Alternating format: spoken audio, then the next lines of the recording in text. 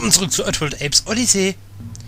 Ich bin wieder an Ort und Stelle und habe jetzt auch die Mine endlich mal ähm, deaktiviert. Jetzt brauch nur ein, brauchen wir einen richtig geilen Sprung, um da drüber zu kommen.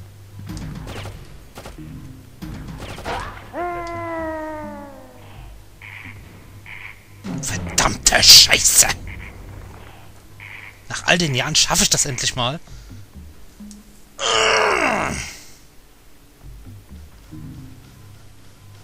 Na gut.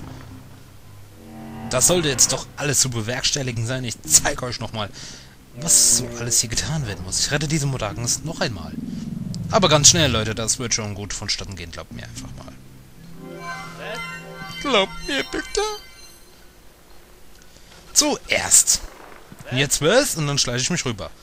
Ja, wer braucht schon Splinter Cell, wenn er Earthworld hat? Wer braucht Sam Fisher, wenn er Ape hat? Dreh dich um. Aufstehen, schleichen. Rennen! Chanten! Übernehmen! In Rennen! Schießen!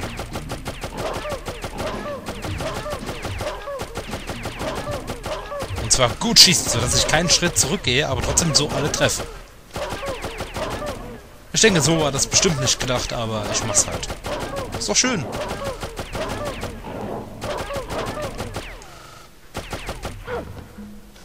Willst du mir erzählen, das war alles? Dann können wir den Sleep in die Luft jagen.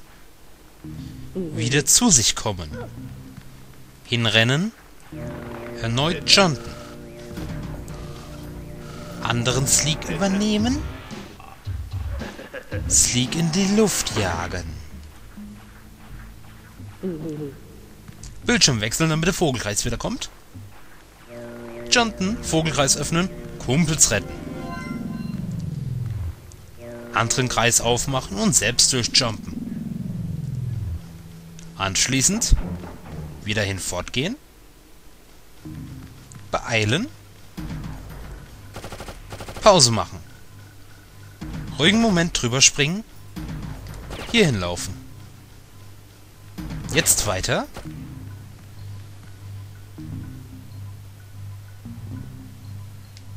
Oh ja, ich hab's geschafft. Der große... Sp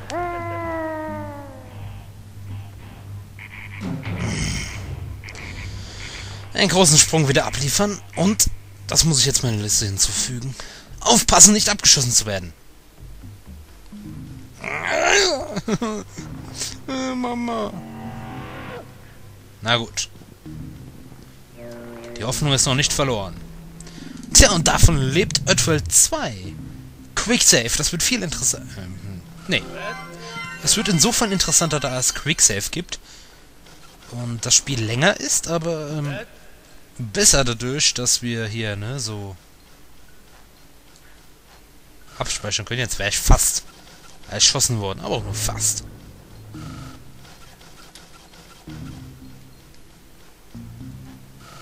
Es hat geklappt. Auch das hat geklappt. Und nochmal übernehmen das Ganze und nochmal schießen. Okay, Leute, jetzt zum letzten Mal. Es ist doch ein Genuss, die ganzen Köder zu erschießen. Na, gehen wir einen Schritt zurück hier. Hier stehen wir besser. Immer so ein Doppelpack.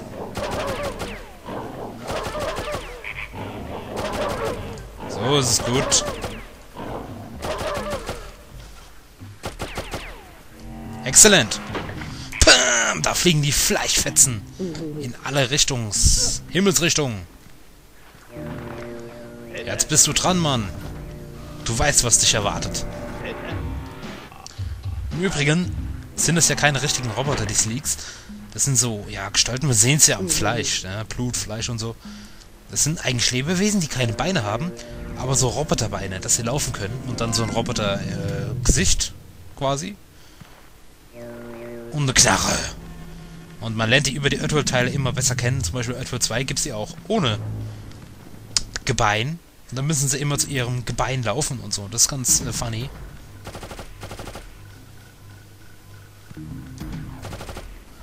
Und in Edworld 3 gibt es dann ganz viele verschiedene Sorten und in Edworld 4 haben sie dann wieder, wie gesagt, alles alte weglassen. Gut. Das gibt's doch nicht! Wie soll ich das machen? Ich habe halt ein bisschen Schwung. Entweder ich laufe weiter oder ich laufe zurück.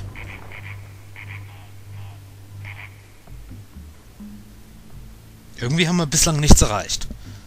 Ich habe eben fast den Gedanken gehabt, das, was ich hier gerade habe, nicht hochzuladen, aber... Mm, nee. das ist... Das, hm. nee, naja. Ach, ich kann euch doch ein wenig erzählen über die Earthworld generell.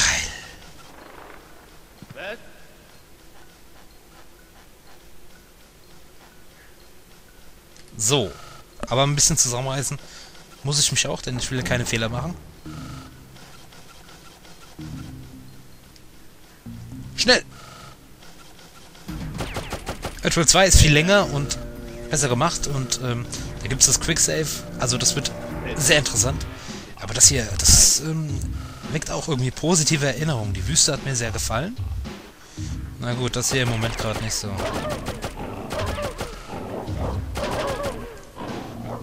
Komm, Doppelpack hier. Schrot für zwei. Unendlich Munition, habe ich das schon mal erwähnt? Ey, verprügel meine Modakens nicht so. Das war's. Pum.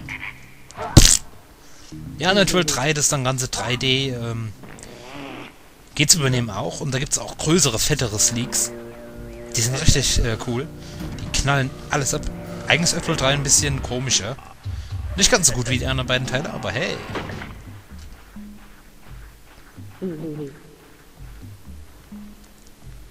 Aber Teil 4 ist halt zu eigenes. So eine Art Ego-Shooter mit einer Armbrust man muss die Viecher, die Insekten, die man findet, in der Armbrust und zum Ballern und eigentlich nur neue Charaktere, bis auf zwei Arten. Die Vikers und die Fuzzles, die gab es auch schon in Earthworld 3. Allerdings nur eine kleine Nebenrolle, also man kann sagen, in Earthworld 4 ist nichts mehr übrig. Und ich kann nur noch hoffen, dass es nicht mehr leckt an so gefährlichen Stellen wie eben. Mein Gott.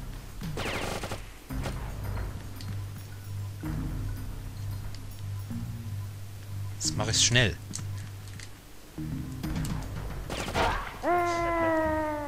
So, kurz vorm Ziel oder was? Man kann nur hoffen, dass nächste, nächstes Jahr World 5 wieder mit Ape ist. Es wurde bislang angekündigt, der neue Entwickler hat gesagt, just, just add water. Einfach Wasser hinzufügen. Hat einfach nur gesagt, ähm, ja, wir machen fünf neue Spiele. Dann kommt die Oddbox. Oddbox, ja. Oddbox. so kommt raus. Da gibt es die alten Spiele. Das wurde ja auch schon angekündigt, schon so. Dass die ersten drei Spiele halt nochmal für den PC geremaked werden. Moment.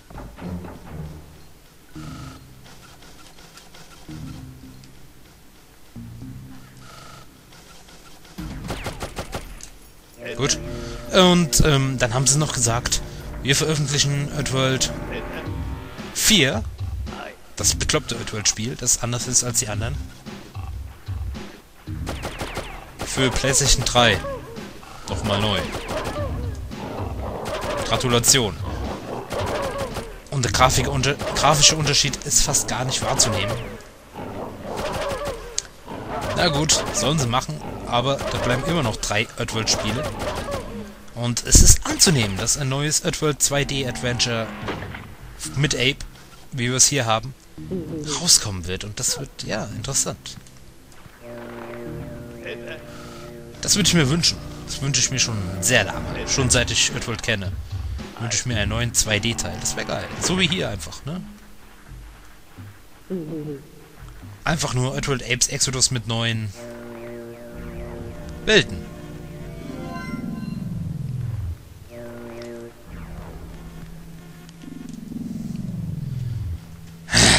Wieder das Secret gelöst. Mann, bin ich da gut drin. Und jetzt hier echt mal ein bisschen zusammenreißen.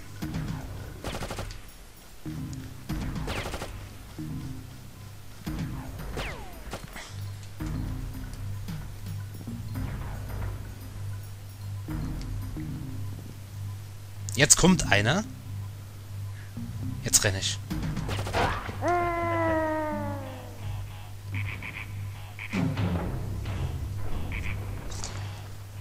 Also wir müssen das richtig, richtig, richtig, richtig, richtig schnell hinkriegen. Ein Part voller Fails. es wird ein Happy End geben, meine Freunde. Ich bin der Mensch auf dieser Welt, der so oft wie kein anderer Mensch zuvor dieses Secret gespielt hat. Immerhin Immer wieder zu, derselbe Ablauf. Gut, genießen wir das Spiel so lange wie möglich. Machen wir das Beste draus. Ne, Leute, inzwischen habe ich auch keinen Bock mehr drauf, aber okay.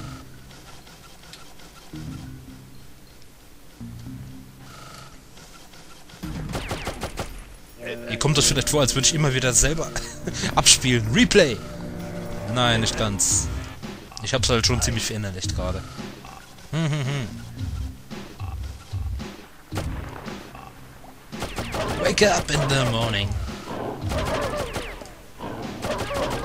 Zack, zack. Grausame Methode, die ihr sterben müsst.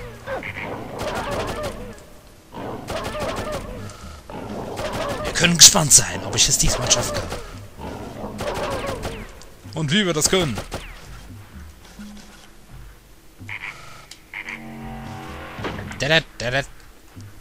Die können übrigens auch kommunizieren.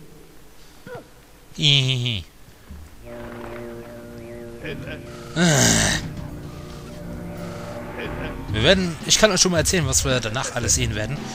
Wir sind hier im Tempel und werden dann gleich zu einem Areal kommen. In dem es dann wie viele Türen gibt? Ich glaube acht. Acht Türen. Die müssen wir dann alle, jede, hinter jeder Tür verbirgt sich ein kleines Areal mit den Scraps. Wir sind ja im Tempel der Scraps. Und das müssen wir alle acht lösen. Dann öffnet sich die Tür zum Nest. Und dann finden wir heraus, warum wir wirklich hier sind.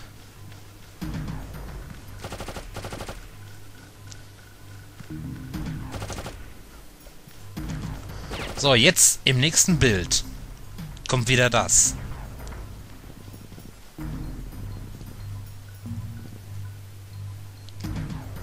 Jetzt schnell springen. Wir sind gerettet. Jetzt warten wir, bis der weg ist. Und laufen in die Mine. Wir haben's geschafft, Leute. Und jetzt sterbe ich hier nach und dann... Nee, kann schon gar nicht mehr sein. Ah, das sind ja schon die acht Türen. Na, wunderbar. Ich werde euch das noch demonstrieren. Scraps! Scraps sind scharf auf ihr Territorium. Das Einzige, das sie mehr lieben, als dahinschleichende Modakens als Imbiss zu sich zu nehmen, ist, sich gegenseitig eins auf die Mütze zu hauen. Wenn du einen siehst, hau ab. Wenn du zwei siehst, genieße die Show. Steinschlösser. Unsere Tempel sind dunkel geworden. Okay, das hatten wir schon. Wir müssen die Steinschlösser aktivieren. Außerdem müssen wir die Melodie erhalten, um wieder zurückzukehren. Und äh, die Secrets nicht vergessen. Aber ich denke, ich glaube, ich weiß, wo die sind. Hier gibt es nur genau zwei. Die uns erstmal nicht interessieren. Okay, acht Türen mit äh, kleinen Arealen. Die sind nicht so schwer wie die Secrets, keine Angst. Aber wie das äh, Ganze dann abläuft und ausgeht, das erfahren wir im nächsten Part. Also Leute, bis dann und ciao!